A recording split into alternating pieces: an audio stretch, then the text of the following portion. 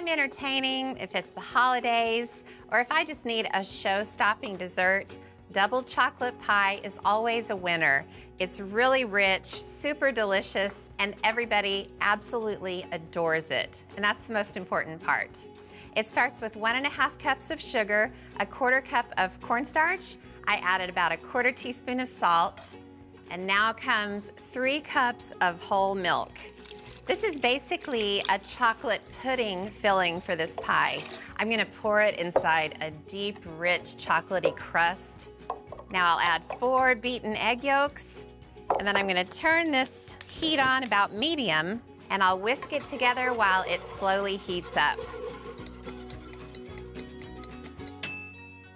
Now you could add vanilla and stop right here and you'd have a vanilla pie filling. I'm not happy with vanilla pie. I'm gonna make a chocolate pie, and it's as easy as just adding some bittersweet chocolate. And I have to say, this never gets old. Watching this chocolate melt and swirl into that pudding filling, oh my goodness. Okay, now once the chocolate is all melted, you wanna add two tablespoons of butter, and that just makes the filling a little bit more silky and rich and then a little bit of vanilla. And then it's just about stirring until the butter is melted, and that takes about 4.3 seconds because this filling is so hot. Okay, I turned off the heat. So now that the filling's ready, I'm gonna grab the base for the pie. It's just a really simple chocolate crust. I used nine chocolate graham crackers and added some melted butter and three tablespoons of sugar pressed it into a pie pan and baked it at 350 for four minutes. Really simple. Now this is a very monumental occasion. Look at this. we don't even have to talk. We can just stare.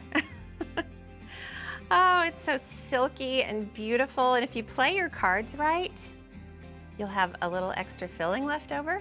Now I like to put wax paper on top of this chocolate pie filling. It's so much better than plastic wrap. You can actually press it against the filling, just let it naturally stick. And then after it chills, the wax paper peels off pretty neatly. Now this is gonna keep setting as it cools in the fridge. I'm gonna pop it in there for three hours. As if that double chocolate pie isn't scrumptious enough, I'm gonna top it with a beautiful glossy meringue so gorgeous. This is a really dramatic, beautiful pie. Okay, I'm adding a quarter cup of corn syrup to a little saucepan, and I'll add a third a cup of sugar, along with a couple of tablespoons of water, a pinch of salt, and I'm gonna turn the heat up pretty high, and I wanna get this just to the bubbling point. It's not gonna take long at all. You know, I don't normally put meringue on my pies. I save it for when I'm gonna serve a pie around the holidays or if I'm having a dinner party. A meringue-topped pie just looks like you spent a little extra time on it. Okay, this is totally bubbling away, so I'm gonna turn off the heat and move on to step two of the meringue. Now it's all about whisking the egg whites. I'm using two, and I'll keep whisking them until they're frothy. Okay, now I'll add an eighth of a teaspoon of cream of tartar and another little pinch of salt. And this is the fun part. I'm gonna grab this hot syrup and with the mixer still going, I'm gonna drizzle it in in a really small stream. The only thing that can mess up the meringue is impatience on your part. You've gotta go really, really slow. Okay, just a little bit more. All right, now I'm gonna turn up the speed and I'm gonna let it keep whipping until stiff peaks form. Won't take long.